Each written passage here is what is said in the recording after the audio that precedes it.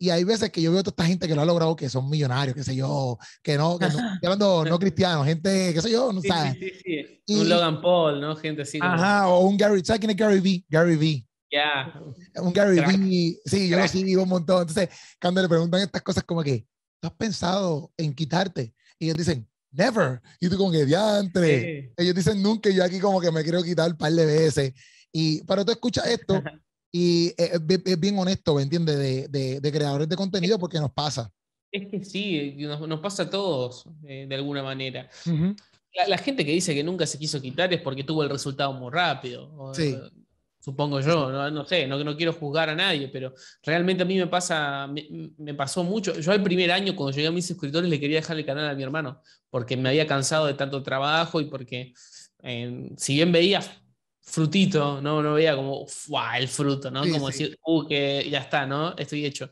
Y a día de hoy, la verdad es que, si, si te digo la verdad, me, me sigue sucediendo porque eh, crear contenido cíclico, o sea, lo normal es que vos subas un poquito, bajes, subas un poquito, bajes, subas un poquito, bajes. Y es muy lindo estar aquí arriba, pero cuando te toca la bajadita y los numeritos están en rojo, sentís que va a ser para siempre. Sí, sí, sí. Entonces es como normal también sentir las ganas de, de, bueno, dejar. Y yo creo que lo más importante que aprendí este tiempo es, es sobre la constancia, ¿no? Es sobre, quizás no, no, no seas el más talentoso, pero sí puedo ser el más persistente. Eh, y siempre puedo mejorar algo, ¿no? Quizás no puedo comprarme un estudio como el, no sé, el Logan Paul o contratar como Gary Bay, que tiene un Ajá. muchacho que lo graba todo el día. Todo el Quizás no puedo hacer eso. Ya, no, no puedo hacer eso. Pero quizás sí puedo eh, comprar un foquito y mejorar la iluminación. Quizás Ujú. sí puedo aprender a editar un poquito mejor para que sea más entretenido. Entonces, si uno es persistente y va mejorando, las cosas se van dando. Ahora, eh, algo que dijiste que me pareció súper importante también era sobre eh, uno no está viendo de esto, no es millonario, lo que sea, pero, pero tampoco es que está persiguiendo eso. ¿Sí? Tampoco estás persiguiendo el dinero. Y Sí, eso sí, me parece súper importante. entiendo, Entiendo. Porque si vos perseguís el dinero y seguramente te vas a frustrar. Sí, obligado. No son muchas las probabilidades, la verdad, de, de hacerte millonario. Hay un. Logan Paul. O sea, quizás podés llegar a vivir, puedes eh, pagarte cosas, ¿no? Y, y que te paguen por hacer lo que te gusta ya es un privilegio. Exacto. Pero tenés que encararlo con esa actitud, ¿viste? Tenés que verlo de la manera. Esto es algo que está pasando y que me gusta y lo voy a hacer o porque puedo ayudar a la gente o puedo crear un puente, o puedo, pero si tu misión es la plata, Sí, está, está, está frito. O frita. O frita.